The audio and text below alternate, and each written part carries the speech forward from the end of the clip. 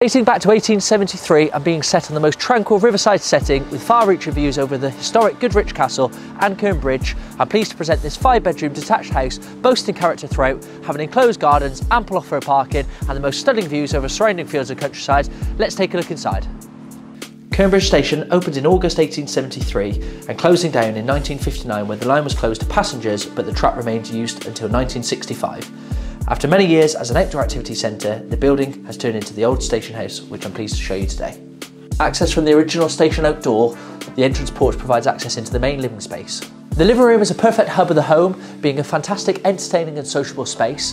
Bathing light with windows to the front and rear aspect, you'll also be immediately drawn to the tall ceilings and exposed ceiling beams. The living space opens in both directions, with the one opening taking us through to the kitchen, which has a bespoke range of fitted wall base and drawer mounted units, space for appliances, and a front aspect window taking in the breathtaking views over surrounding fields and countryside.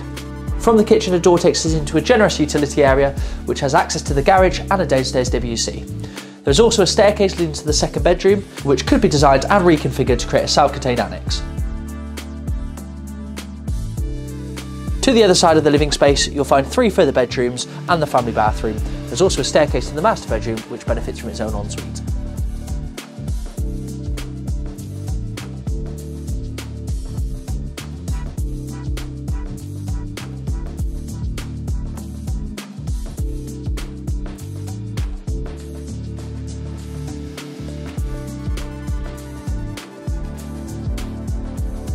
The gardens of the old station house are mostly laid to lawn. There's an impressive decking area to the front which take in the beautiful, breathtaking sunset views. There's a courtyard to the rear which to patio, gives access to the wood store and to the cellar.